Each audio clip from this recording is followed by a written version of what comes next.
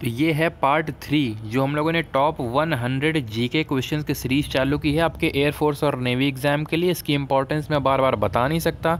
जितनी आपने क्वेश्चंस आपने पढ़ी है, जितनी जीके पढ़ी है, जितनी यूट्यूब पे आपको टीचर जितने करवाते हैं, वो एक तरफ़ और ये टॉप हंड्रेड वन क्वेश्चन एक तरफ़। ये क्वेश्चन आपको पता होगा, मैं टेलीग्राम पर पहले करवा चुका हूँ और इनका डिटेल एक्सप्लेनेशन और विद पी फॉर्मेट यहाँ पर मैं आपको प्रोवाइड कर रहा हूँ। अभी बहुत लोग बोल रहे हैं कि, सर, इसका पीडीएफ आप क्यों नहीं दे रहे हो और इसका पीडीएफ दे दीजिए? तो मैं चाहता हूँ कि आप इसके नोट्स बनाएँ। मैं हर चीज़ के लिए नोट्स नहीं बोलता हूँ, जैसे जो मॉर्निंग में जी कर करंट अफेयर की वीडियो आपको डेली मिलती है, उसमें मैं ज़रूरी नहीं कि आप नोट्स बनाएँ, लेकिन इसके नोट्स आपको ज़रूरी है क्योंकि यहाँ पे मैं जो एक्सप्लेनेशन देता हूँ डिटेल में जो एक्स्ट्रा इन्फॉर्मेशन देता हूँ, वो भी इंपॉर्टेंट होती है और वो भी आपको नोट करते चलना है। और ये पीडीएफ इसका मैं लास्ट यानी कि जब ये सौ क्वेश्चंस पूरे हो जाए, हो जाएँगे, तब मैं टेलीग्राम पे इसको अपलोड कर दूँगा। ठीक है? अभी शुरू करते हैं और क्वेश्चन नंबर थर्टी फाइव तक एक्चुअली देख लिए तो एक्चुअली थर्टी फाइव तक नहीं, बल्कि हम लोगों ने थर्टी फोर तक देखे थे। ये क्वेश्चन मैंने आप लोगों के लिए दिया था। आखिरी क्वेश्चन आप लोगों के लिए मैं देता हूँ, आपको पता है। तो पहले इसका आंसर देख लेते हैं और उसके बाद आगे प्रोसीड करते हैं वीडियो में। ये क्वेश्चन मैंने पूछा था कि बेटला नेशनल पार्क किस राज्य में यानी कि in which state is Betla national park situated मैं कोशिश करता हूँ कि हर क्वेश्चन को इंग्लिश में रिपीट करता चलूँ ताकि जो साउथ के स्टूडेंट्स होते हैं, उनको भी दिक्कत यहाँ पे ना हो। तो बेटला नेशनल पार्क कौन से स्टेट में है? आप में से बहुत लोगों ने बहुत स्टेट्स लिखे और आप में से ज़्यादा लोगों ने, बहुत ज़्यादा लोगों ने इसका सही आंसर दिया और सही आंसर था झारखंड। तो झारखंड में है बेटला नेशनल पार्क। अब मैंने शुरू में ये क्यों बोला था कि सारे, आप जितना आपने जीके पढ़ा है वो एक तरफ़, और जो अभी मैं करवाऊँगा टॉप वन हंड्रेड क्वेश्चन वो एक तरफ़। उसका रीज़न ये है कि अब इसी इसी क्वेश्चन से मैं आपको एग्जांपल देता हूँ। आपने कितने नेशनल पार्क पढ़े होंगे? ये मानस नेशनल पार्क ये नेशनल पार्क मैंने सारे पढ़ लिए होंगे आपने। लेकिन सारे की ज़रूरत ही नहीं है। अगर पचास हैं उनमें से तो दस इंपॉर्टेंट है और वो दस मैं आपको बताऊँगा, और वहीं से क्वेश्चन आएगा। ठीक है? और आए भी हैं पिछले जो प्रीवियस ईयर के स्टूडेंट्स हैं, वो कंफर्म कर सकते हैं इस बात को। तो अब हम आगे प्रोसीड करते हैं। जहाँ पर एक्सप्लेनेशन की ज़रूरत होगी, मैं आपको देता चलूँगा। अगला क्वेश्चन है, हिंद स्वराज पत्रिका किसके द्वारा चालू की गई? ये चालू की गई महात्मा गांधी जी के द्वारा। अगला क्वेश्चन है क्वेश्चन नंबर थर्टी सेवन मौलिक कर्तव्य कहाँ से लिए गए हैं? यानी कि from where in our constitution has fundamental duties have been borrowed तो ये फंडामेंटल ड्यूटी मतलब कि हमारे कॉन्स्टिट्यूशन में यानी हमारे संविधान में बहुत सारी चीज़ें हैं फंडामेंटल राइट्स हैं फंडामेंटल ड्यूटीज़ हैं डी पी एस पी हैं, सब कहीं ना कहीं से मोस्टली लिए गए हैं। तो ये फंडामेंटल ड्यूटी यानी मौलिक कर्तव्य कहाँ से लिए गए हैं? ये लिए गए हैं रशिया के कॉन्स्टिट्यूशन से। अब फिर से वही मैं बात बोलूँगा कि सब सब कुछ नहीं पढ़ना है आपको कि ये कहाँ से लिया गया, वो कहाँ से लिया गया, सब नहीं आएगा। मुझे पता है कहाँ से आएगा। एक तो ये आएगा फंडामेंटल ड्यूटीज़ फिर दूसरा इंपॉर्टेंट है फंडामेंटल राइट यानी मौलिक अधिकार। वो कहाँ से लिए गए हैं? तो वो यू एस यानी अमेरिका के कॉन्स्टिट्यूशन से लिए गए हैं। और एक तीसरा बहुत इंपॉर्टेंट बहुत ज़्यादा इंपॉर्टेंट है वो है डी पी एस पी यानी directive principles of state policy यानी हिंदी में बोलते हैं राज्य के नीति निर्देशक सिद्धांत। ये कहाँ से लिए गए हैं? ये आयरिश कॉन्स्टिट्यूशन यानी आयरलैंड के कॉन्स्टिट्यूशन से लिए गए हैं। ये तीन तो आपको मुँह जवानी रटे होने चाहिए और यहीं ती, इन्हीं तीनों में से आपसे क्वेश्चन पूछेगा वो। अगला क्वेश्चन है थर्टी एट्थ नंबर ये क्वेश्चन ये है, विधानसभा की मसौदा समिति के अध्यक्ष कौन थे? Who was the chairman of the drafting committee of the constituent assembly अब ये मसौदा समिति के बारे में एक्चुअली इसके बारे में बता चुका हूँ, जो ये विधानसभा बनी थी कॉन्स्टिट्यूंट असेंबली इसके बारे में मैंने पिछले पार्ट टू जो वीडियो था, उसमें मैं इसमें डिटेल में आपको बता चुका हूँ कि यही जो कॉन्स्टिट्यूंट असेंबली थी, जो 1946 से बनी थी, इसी ने अपना कॉन्स्टिट्यूशन यानी इंडियन कॉन्स्टिट्यूशन फ्रेम किया था, बनाया था। और उसमें एक सबसे इंपॉर्टेंट कमिटी थी, समिति थी, जिसका नाम था मसौदा समिति, यानी ड्राफ्टिंग कमेटी तो उसके चेयरमैन कौन थे, ये आपसे पूछता है। सारे क्वेश्चन कभी ना कभी एयरफोर्स और नेवी में आए हुए हैं, और कभी ना कभी, यानी कि आपके एयरफोर्स में और नेवी एग्ज़ाम में आएँगे भी। आंसर है डॉक्टर भीमराव अंबेडकर उस कमेटी के चेयरमैन थे। उस कमेटी के सारे मेंबर्स याद करने की ज़रूरत नहीं है, सिर्फ़ चेयरमैन भीमराव अंबेडकर जी। अगला क्वेश्चन है, अंडमान निकोबार किस राज्य के साथ उसका उच्च न्यायालय साझा करता है? तो हर स्टेट का और हर यूटी यानी यूनियन टेरिटरी का हाई कोर्ट नहीं होता है। कुछ हाई कोर्ट सॉरी कुछ स्टेट्स और कुछ यूटी दूसरे स्टेट और के साथ अपना हाई कोर्ट शेयर करते हैं, यानी उच्च न्यायालय साझा करते हैं। और उनमें से एक है अंडमान और निकोबार द्वीप। तो ये किसके साथ साझा करता है? ये करता है पश्चिम बंगाल, यानी वेस्ट बंगाल के के हाई कोर्ट को। इसी के जस्ट ऑपोजिट अगर आप देखो तो है लक्षद्वीप। जैसे कि ये अपना इंडिया है, और ये बे बे ऑफ़ बंगाल में यहाँ पे अंडमान और निकोबार आइलैंड्स और यहाँ पे हैं लक्षद्वीप। तो अगर ये अंडमान निकोबार करता है वेस्ट बंगाल के साथ, जो कि यहाँ पे है तो ये किसके साथ करता है? ये क्या महाराष्ट्र किसके, गोवा किसके साथ करता है? तो ये करता है केरल के हाई कोर्ट को शेयर। अब अंडमान और निकोबार जो द्वीप है, उसके पूछे जाने के चांसेस ज़्यादा हैं और इसी वजह से मैंने क्वेश्चन रखा, क्योंकि ये कन्फ्यूजिंग है इस वजह से। और कन्फ्यूजिंग है वो क्वेश्चन रखता है एग्ज़ाम में। अब कन्फ्यूजिंग क्यों है? वो आप समझ ही आओगे। क्यों? क्योंकि आपको लगेगा कि अंडमान निकोबार द्वीप तो इधर है, यानी कि तमिलनाडु के साथ शेयर करता होगा। अगर लक्षद्वीप केरल के साथ करता है तो ये इसके साथ करता होगा, लेकिन नहीं। ये करता है, ऊपर जाता है और वेस्ट बंगाल के साथ करता है। ठीक है, उम्मीद करता हूँ मैं अच्छे से आपको एक्सप्लेनेशन दे रहा हूँ, ताकि आपको एकदम माइंड में बैठ जाए। क्योंकि मैं बोल दूँगा, कुछ होते ना कि इसका बी, इसका सी, इसका ये, उससे अभी के लिए तो संतुष्टि मिल जाएगी, लेकिन अगर लॉन्ग टर्म मेमोरी में आपको कोई चीज़ स्टोर करनी है तो उसको अच्छे से समझना पड़ेगा। ठीक है? अगला क्वेश्चन देखते हैं, दक्षिण गंगोत्री किस नदी को कहते हैं? यानी which river is known as Dakshin Gangotri? Dakshin Gangotri का कोई इंग्लिश नहीं होता, सिर्फ़ वैसे लिख के आएगा दक्षिण गंगोत्री इंग्लिश में, ठीक है? आंसर है गोदावरी। अब कुछ लोग कहेंगे, भड़क गए होंगे। ऐसे थोड़ी ना, इस गोदावरी थोड़ी ना आंसर इसका कावेरी गलत बता रहे हो। नहीं सर इसके रिगार्डिंग मैं आपको पहले एक्सप्लेनेशन दे चुका हूँ अच्छे से, क्योंकि बहुत स्टूडेंट्स का इसमें डाउट आया था जब मैंने टेलीग्राम पर पोस्ट किया था। कावेरी को बोलते हैं दक्षिण की गंगा। अगर बीच में की लग गया ना, की, ये की लग गया तो वहाँ पे आंसर हो जाएगा कावेरी। अगर की लग गया, के फॉर की, के फॉर कावेरी। ठीक है, ऐसे याद रख सकते हो। दक्षिण की गंगा होगा तो कावेरी होगा, लेकिन अगर दक्षिण गंगा या फिर दक्षिण गंगोत्री पूछेगा, बीच में कुछ नहीं लगाएगा तो वहाँ पे गोदावरी आंसर होगा। ये थोड़ा सा माइन्यूट डिफरेंस है, आंसर इसी में जो है गलत करते हैं बहुत लोग। ठीक है, अगला क्वेश्चन देखते हैं, और देखिए, अगर आपको वीडियो पसंद आ रही है तो अगर मुझे इसमें साढ़े आठ सौ लाइक्स मिल जाते हैं तो इसका पार्ट फोर आपको जल्दी देखने को मिलेगा, यानी कि जित, अगर टारगेट पूरा हो जाए तो टारगेट पूरा का मतलब है कि मुझे मोटिवेशन मिलता है कि हाँ स्टूडेंट्स को अच्छे लग रहे हैं वीडियोस और मुझे जल्दी से वीडियो बनाने हैं। सिर्फ़ इसका मोटिव इतना रहता है। तो अगर 850 लाइक्स का टारगेट है, अगर आपको वीडियोज़ पसंद आती है तो प्लीज़ लाइक ज़रूर करें।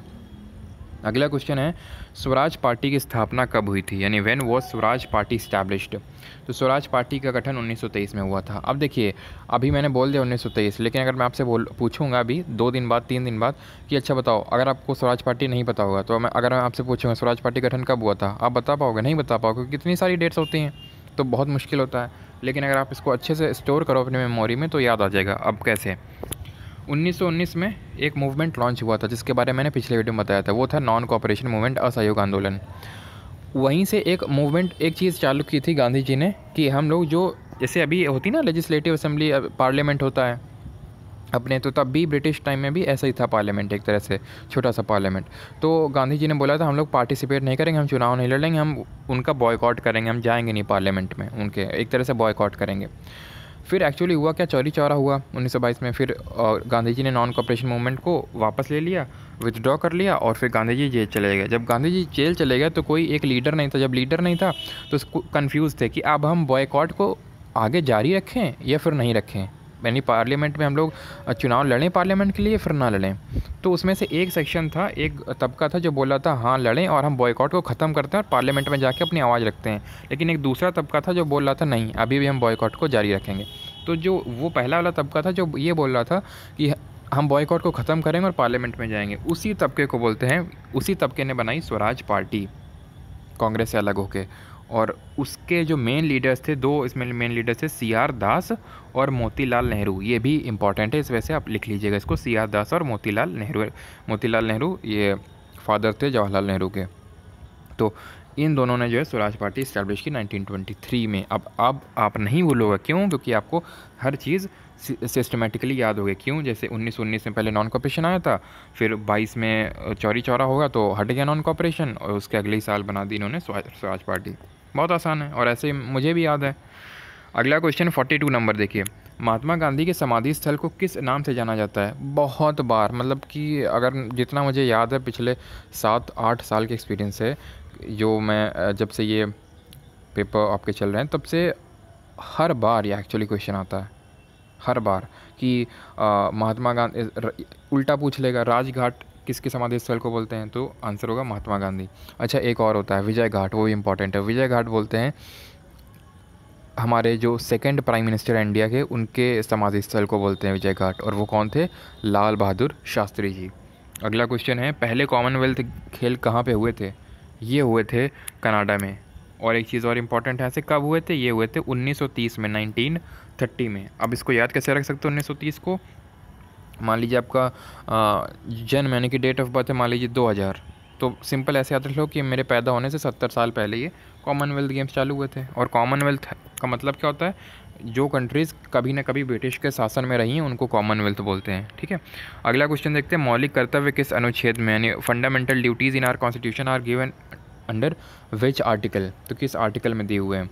तो जो मौलिक कर्तव्य यानी कि फंडामेंटल ड्यूटीज़ हैं, ये आर्टिकल 51 ए में दिए हुए हैं। अब जहाँ पे भी ये सब टाइटल्स लग जाए ना ए बी सी इसका मतलब ये होता है कि ये किसी न किसी संविधानिक संशोधन से जोड़े गए, यानी कॉन्स्टिट्यूशनल अमेंडमेंट से कभी ना कभी जोड़े गए, अगर ए बी सी आपको दिख जाए। तो ज़ाहिर सी बात ये भी जोड़े गए होंगे किसी कॉन्स्टिट्यूशनल अमेंडमेंट से। तो सवाल उठता है, वो कौन सा कॉन्स्टिट्यूशनल अमेंडमेंट था, कौन सा संवैधानिक संशोधन था? तो वो था फोर्टी सेकेंड बयालीसवां संवैधानिक संशोधन फोर्टी सेकेंड कॉन्स्टिट्यूशन अमेंडमेंट और जिसको हम मिनी कॉन्स्टिट्यूशन भी बोलते हैं। तो तभी 11 फंडामेंटल ड्यूटीज़ हैं अभी एक्चुअली जब ऐड की गई थी तब 10 थी, लेकिन उसके बाद एक और संशोधन किया गया था, छियासीवा वाला एट्टी सिक्स वाला, और उसके तहत एक जोड़ी गई थी एजुकेशन के रिगार्डिंग और अब हो गई हैं 11 फंडामेंटल ड्यूटीज़ ठीक है? आगे देखते हैं। और अभी अभी पहला ही क्वेश्चन हम लोगों ने देखा था कि मौलिक कर्तव्य किस देश के संविधान से लिए गए हैं रशियन कॉन्स्टिट्यूशन से, ठीक है? अगला क्वेश्चन देखते हैं फोर्टी फिफ्थ नंबर कि कौन सी मिट्टी रीगर के नाम से जानी जाती है? मैं पिछले वीडियो में कई अच्छे से एक्सप्लेन कर चुका हूँ इसको आप, आपको, और जिन लोगों ने अभी तक पार्ट दो नहीं देखे, यानी पार्ट वन और पार्ट सेकंड दोनों पार्ट नहीं देखे हैं प्लेलिस्ट मैंने बना दी है, जाके जी के बाई परमार नाम से प्लेलिस्ट मिल जाएगी। उनको ज़रूर देख लें, फिर आपकी मर्ज़ी, देखें नहीं, देखें फिर नहीं, लेकिन मेरा काम है बताना क्योंकि ये इंपॉर्टेंट और मैं चाहता हूँ कि मेरे स्टूडेंट्स को क्वालिटी कंटेंट मिले, फालतू की जगहों में टाइम वेस्ट ना हो क्योंकि उनका टाइम प्रेशियस है। उतना ही टाइम अगर एक घंटा में कोई आपको बता रहा अगर वो चीज़ मैं आपको पंद्रह मिनट में बता रहा हूँ तो फिर टाइम आपका कितना बच सकता है और वो मैं चाहता हूँ कि मेरे स्टूडेंट का टाइम बचे।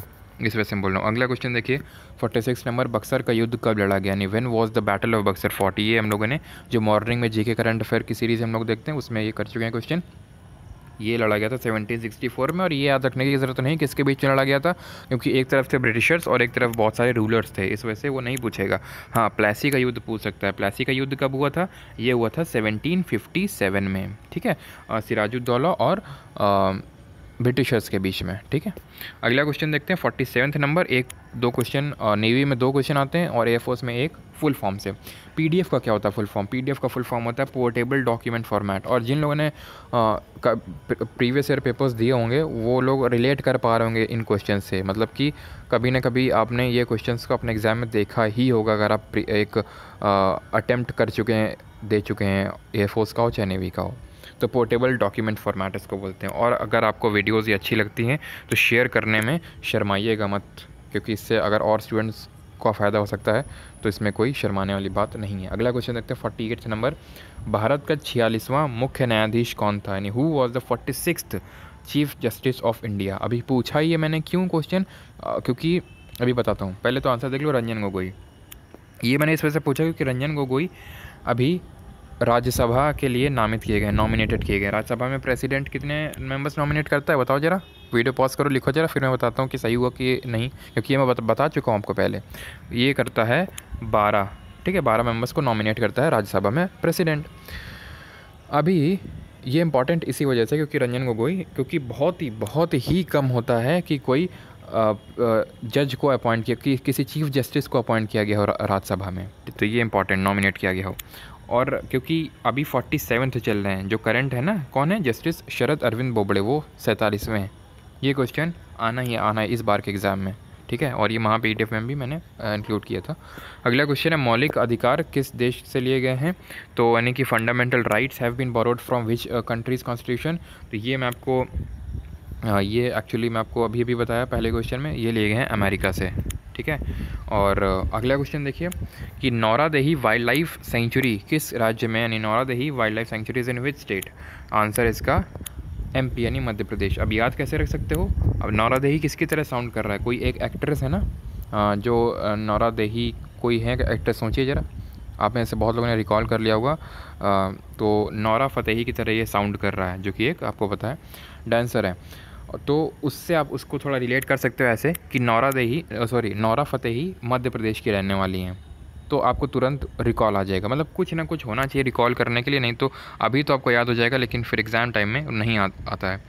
आखिरी क्वेश्चन देखते हैं आज का जिसका आंसर आप लोगों को कमेंट में देना है क्योंकि आखिरी क्वेश्चन आप लोगों के लिए होता है। आप लोगों के लिए भी मैं कुछ रखता हूँ आखिर में। तो भारतीय राष्ट्रीय कांग्रेस यानी इंडियन नेशनल कांग्रेस का गठन किसके द्वारा किया गया यानी who established Indian national congress इसका आंसर जब मैं अगला पार्ट शुरू करवाऊँगा, तब दूँगा। और अगर इसमें मुझे एट फिफ्टी लाइक्स मिल जाते हैं एट फिफ्टी से ज़्यादा तो उसका अगला पार्ट जल्दी आएगा। वन वर्ड की सब्सक्रिप्शन की सीरीज़ भी चालू कर दी गई है, उसका भी नेक्स्ट पार्ट आपको जल्दी देखने को मिलेगा, क्योंकि आपने जो लाइक्स का टारगेट था, मैंने 500 रखा था, उससे आपने दुगना करके दिया, हज़ार से भी ज़्यादा। और शेयर करना वीडियो को और सब्सक्राइब जिन लोगों ने नहीं किया है, पहले तो कर लें, और जिन लोगों ने कर लिया है उन लोगों को घंटी एक बन के आती है। घंटी जब क्लिक करोगे घंटी पे तो एक ऑल लिख लिख के आएगा ऊपर। उस ऑल पे क्लिक करना है तो हर वीडियो का नोटिफिकेशन आपको मिलेगा। और अगर आपने यहाँ तक वीडियो को देखा है, अभी भी मेरी वॉइस को आप सुन रहे हो तो मैं आपको कॉन्ग्रेचुलेट करना चाहता हूँ, क्योंकि आपने एक टारगेट अचीव किया, आपने जो चीज़ शुरू की है, आपने उसको ख़त्म किया है। और मेरी डिक्शनरी में उसको बोलते हैं क्लोज़र और जो लोग शुरू करते हैं किसी चीज़ को और फिनिश नहीं करते हैं, वो होते हैं loser so you are a closer congratulation आपने एक टारगेट अचीव किया। धन्यवाद।